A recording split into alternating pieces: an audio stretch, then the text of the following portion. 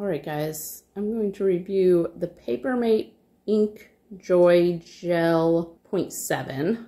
Has a nice clicker tip here. Has a little bit of texture along it. Decorative. It's got these two barely discernible, those are hearts. It's a pretty nondescript black pen though. Blends in. Also two hearts up there. To show you how it writes.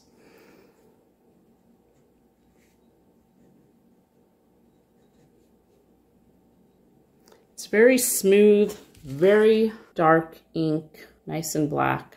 I'm going to compare it. This is 0.7. I'm going to show you, this is a different brand pen, but I'm going to show you what 0.5 looks like. Here's a 0.5, a Sharpie 0.5, compared to, this is Ink Joy 0.7. Both are, I mean, both are good pens. These are, you can tell these are quality but this 0.7 writes a little bit faster, I feel like, but also you're not going to be able to write as small.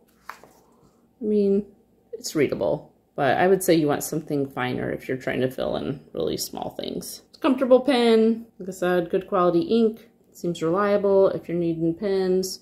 Uh, we use these for nurse charting if you'd like to purchase it, there's a link in the description. We get a small commission and it would really help us out. I'm Chris, and with my wife Abby's help, I'm on a quest to review literally everything sold on Amazon. So if there's something that you need a review of, literally just tell me. Let me know in a comment, and I'll literally buy it and just review it for you. Literally.